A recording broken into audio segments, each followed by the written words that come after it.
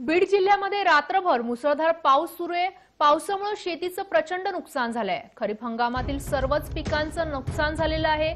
त्यामुळे शेतकरी अस्मानी संकटात सापडलाय. बीड जिल्ह्यातील लहान मोठे सर्व तलाव तुडुंब भरलेत. मांजरा धरणाचे अठरा दरवाजे उघडलेत. माजल गावाचे अकरा दरवाजे उघडलेत. तर जिल्ह्यातील सर्वच नद्या या तुडुंब भरून वाहत आहेत. नदीकाठच्या लोकांनी सतर्क राहण्याचं आवाहन करण्यात आलं आहे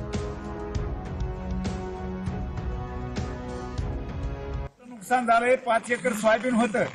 त्या गंजी घातलेल्या आयत्या वाहून गेल्यात. सगळ्या राहिलेल्या पाण्याचं काय सोय ती करा.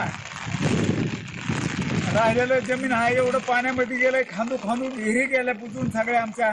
त्या ढगपुटीच्या अकरा वाजता पाऊस आला त्याच्यात. सगळं नुकसान झालंय आमचं. आणि जगण्यासाठी काय करावं हे सांगा आम्हाला काय कळा आम्हाला. प्रत्यक्ष पाहणी पाहणी करून या येऊन पाहणी करावी. हे करावं सरकारनं आम्हाला काय द्यायचं ते द्यावा. दहा ते अकरा वाजता खूप मोठी ढगफुटी होऊन सिनी सगळं नुकसान झालं उभ्या काढून टाकलेल्या सोयाबीन मध्ये सगळं पाणी शिरलं ढिगारे भिजलेत काही. आणि माझी तर सोयाबीन सगळी तशीच आहे सगळी आता पाण्यात आहे सोयाबीन प्रत्यक्ष. तरी खूप नुकसान झालेलं आहे रात्री. पंचनामे करण्यासाठी कुणी. संपर्क केला तुमच्यासोबत कुणी? कुणी संपर्क केला नाही पंचनामे करण्यासाठी किंवा काही नाही. सोयाबीन लय नुकसान झाले. पाच एकर सोयाबीन आहे पाच एकर. पुन्हा